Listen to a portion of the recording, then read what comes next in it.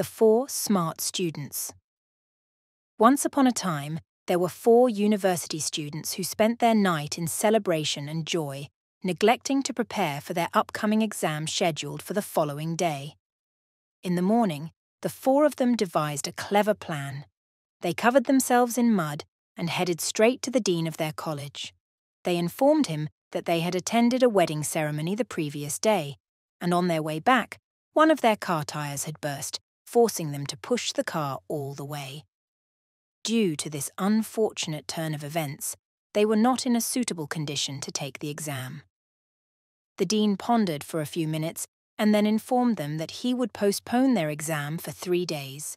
The four students thanked him profusely and promised to prepare well for the exam. On the appointed day of the exam, they arrived at the examination hall, and the dean informed them that, considering the special circumstances, each student would be placed in a separate room. None of them objected to this arrangement since they were well prepared. The exam consisted of only two questions. Question 1. What is your name? 1 mark. Question 2. Which tyre of the car burst on the day of the wedding ceremony? 99 marks.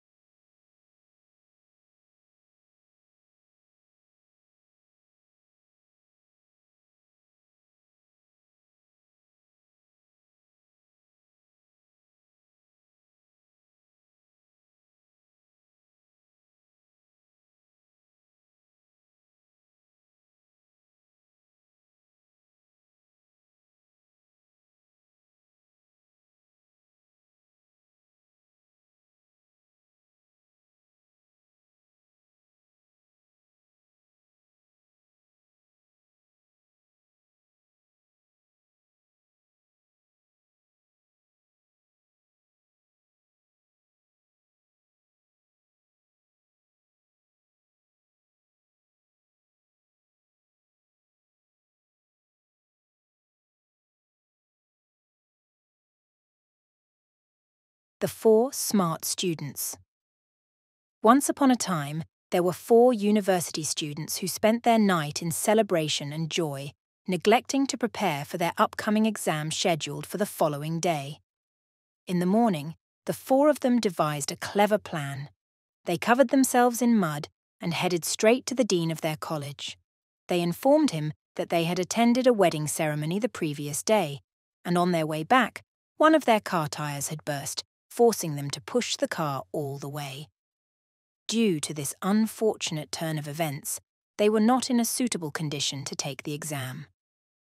The dean pondered for a few minutes and then informed them that he would postpone their exam for three days. The four students thanked him profusely and promised to prepare well for the exam. On the appointed day of the exam, they arrived at the examination hall, and the dean informed them that, Considering the special circumstances, each student would be placed in a separate room. None of them objected to this arrangement since they were well prepared. The exam consisted of only two questions. Question 1.